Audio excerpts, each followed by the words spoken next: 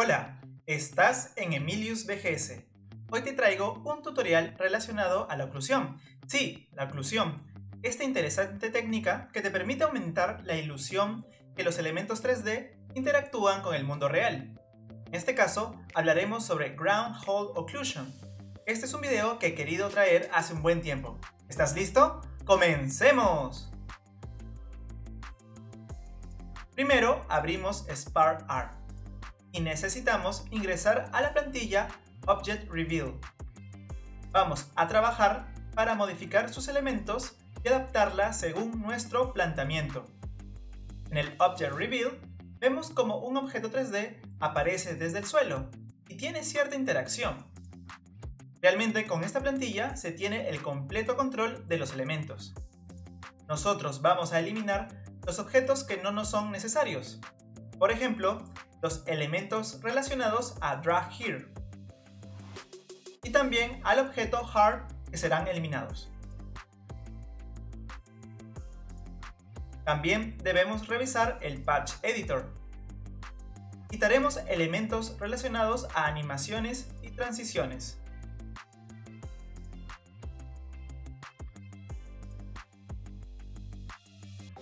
El SDF Circle será uno de los protagonistas para este filtro.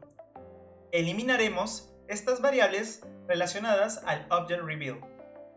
Y también modificaremos los elementos relacionados al Screen Long Press. Por último, también sacaremos de la plantilla los elementos relacionados al archivo Manning Ring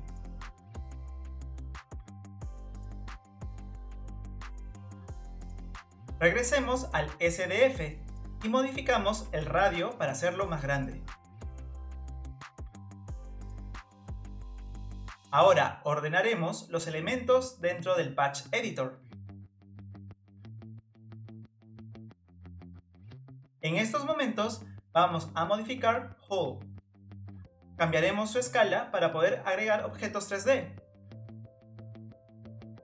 Vamos a hacer los ajustes necesarios.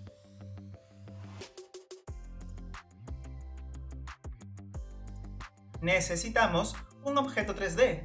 Por eso buscaremos dentro de Art Library un archivo que queramos agregar como una casa o una habitación. En fin, dentro de la librería que está conectada con Sketchfab, encontraremos bastantes objetos que podemos importar. Agregaremos este objeto llamado Forest House. Una vez que tengamos el objeto indicado, vamos a arrastrarlo dentro de la jerarquía Whole. Ahora vamos a ajustar sus dimensiones para que tenga una buena distribución visual. Tenemos que colocar este archivo 3D dentro del túnel. Dependiendo de cómo será tu filtro, puedes ampliar el objeto plano llamado cap.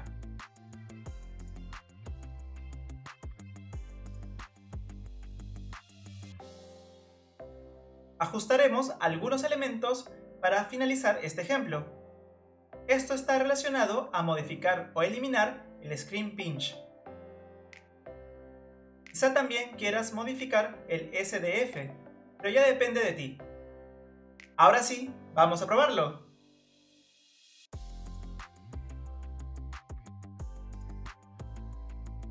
se genera un buen efecto donde podamos generar la ilusión que existe un mundo totalmente diferente dentro de ese túnel. Esto te puede servir para crear ilusiones cada vez más complejas.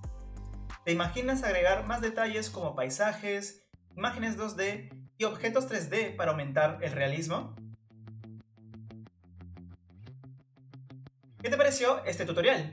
Espero que te haya gustado ¿Te gustó? Déjame un buen like y suscríbete. ¿Qué otros tipos de efectos te gustaría que desarrolle? Escríbeme en los comentarios. Esto es todo por el momento. Emilius BGS se despide. Bye.